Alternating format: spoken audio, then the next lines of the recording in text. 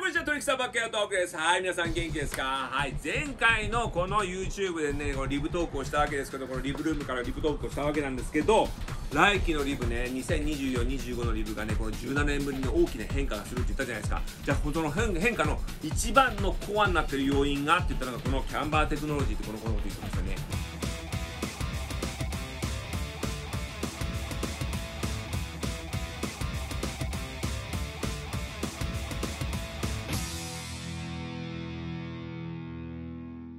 じゃあキャンバーテクノロジーね一気にこのね去年まで全然なかったような状況がこれがキャンバーテクノロジー。これが6個出るって言ったじゃないですか。じゃあこの6個のキャンバーどんなキャンバーが出るかっていうのを今回説明したいと思うんですけど実に細かく分かれてるわけですよ。ねこれ細かく分かれてキャンバーがいきなりなかったのが6個出るってどういうことかってことなんですけど一個一個説明したいと思うんですけどまず6個の種類これ言いますよね。まずはとりあえずこれ1個のまずこのキャンバーってのがあるわけですよ。1個はこのキャンバーってやつ本当普通のキャンバーなわけですね。通常のキャンバーっていうのがこれあるわけですよ。その時、その時出てきたのはこのアーリーライズキャンバーってのがあるんですよ。アーリーライズキャンバーっていうのは、いわゆるノーズテールが長くなるキャンバーなんですね。キャンバーのセンターに違うキャンバーのこの弧がちっちゃいわけですよ。それ、キャンバーの弧がちっちゃくて、ノーズとテールがぐんと長くなるのが、これがアーリーライズキャンバー。それ、その次に出てくるのが、これが難しいのがですね、これが、キャンバーディレクショナルとディレクショナルキャンバー、この2つあるんですね。これは一番最後に説明したいと思います。それで、ここのところにあるのが、マイクロキャンバーですね。マイクロキャンバー。他のメーカーでいうのローキャンバーのことですね。キャンバーのこのこの弧はすごい低いこと。これがマイクロキャンバーですね。そして、アーリーライズディレクショナルキャンバー。いわゆるノーズが長くなってて、さらにそのキャンバー位置がテールの方にずれてる。アーリーライライズで、だからこれアーリーライズだからノーズがすごく長くなっててさらにこのキャンバーの位置がテールの方にずれてるのがアーリーライズディレクショナルキャンバー。そして最後言ったこれねキャンバーディレクショナルとディレクショナルキャンバー。この違いですよね。キャンバーディレクショナルっていうのはディレクショナルボードについてるセンターを基準にしたこのキャンバーがこれがキャンバーディレクショナルです。それでディレクショナルキャンバーっていうのはノーズテールがこうやってあった時にキャンバーの位置がボードのセンターから後ろにシフトしてるのがこれがディレクショナルキャンバーと。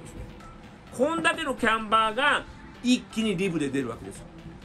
根本になってるのは可能です完全にこれやっぱりじゃあジェイミーの考えで出てくると思うんですね。ただ純粋にこのキャンバーの種類がこうやって出てきた時に全てのキャンバー要素が一気に全部出てきてるわけですよ。それで面白いのはこれ以外に C3 キャンバーっていうのもちゃんとまだ存在してることなんですよ。だからこの C2C3 っていうこのハイブリッド系のキャンバーがある上にさらに C3 があるのにまだこれから純粋なこれトラディショナルキャンバーが出るっていうのが来期の面白いところなんですね。だからこの違いっていうのは実際にどこまでどこまでこれが分かるかどうかっていうのはやっぱり試乗会で見てないと分からない。例えばですね例えばここに出てくるボードの中で言うとアーリーライズディレクショナルキャンバーってあるんですけどここのところねこれね。これアーリーライズディレクショナルキャンバーっていうのがあるんですけどこの中にリブリグが入ってるわけですよ。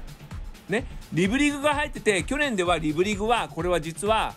C3 キャンバーだったんです C3 キャンバーのリブリグが今年これになったってことはこれはボードに変化がないっていうことで考えると C3 とこのアーリーライズディレクショナルキャンバーってのはほぼほぼ一緒ってことで考えるじゃないですか。これはやっぱり乗ってみないと分かんないと思うんです。ここら辺とか絶対に見た方がいいですよ。あとこのこれ見てるメーヘムロケット。メーヘムロケットも同じなんですけどメーヘムロケットも去年までは C3 でこれ来期からは今度はこれがアーリーライズディレクショナルキャンバーになってこれはキャンバーテクノロジーの方に入っていくわけですね。だからここら辺の細かい変化っていうのはやっぱりやっぱ試乗会に乗ってみないとわからないっていうところがあると思うんですね。だからよりキャンバー要素が強くなって C3 からこのキャンバーに移るボードそれ C3 のまま残るボードこの違いっていうのもやっぱり市場界の方で乗ってみないとわかんないところですよね。ここら辺がやっぱり面白いところだと思います。じゃあじゃあ C2 とオリジナルバナナがこれねないがしろにされてるかっていうことで言うとそうでもないんですよ。なぜかって言ったらやっぱりリブのど真ん中ライダーっていうのはやっぱりトラビス・ライス。トラビス・ライスがいてトラビス・ライスは相変わらず全部が C2 で出てくるわけですね。だからトラビス・ライスをトップとしてこれ基準としてこのライダーのこのこの三角形の中でやっぱり C2 が top of the top にいるっていうのはこれは間違いないことなんですね。ここら辺考えた時にじゃあこの構造の中でじゃあこれ C2 を望む人これオリジナルバナナを望む人そして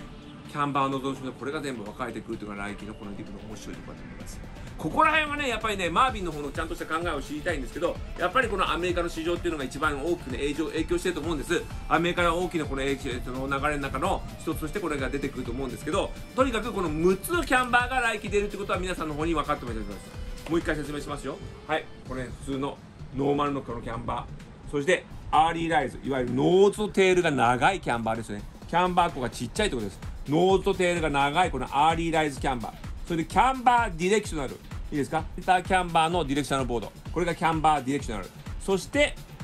このねマイクロキャンバーディレクショナルね。マイクロキャンバーこれこれローキャンバーってことですね。このキャンバーが上がってが少ないところそしてアーリーライズディレクショナルキャンバーね。ノーズが長くてキャンバーの弧がちっちゃくなってます。そして最後キャンバーディレクショナルね。ボードのセンターからキャンバー位置が後ろについてるんです。これがこれですね。ここら辺の違いを来季試したいっていうのがありますよね。じゃあ僕としてはじゃあねこの C2 が好きな僕としてはこれがねどういう風にみんなとこれ分かれてくるかっていうところがまた面白いところなんですけどここら辺を皆さんの方と一緒に考えていきたいと思います。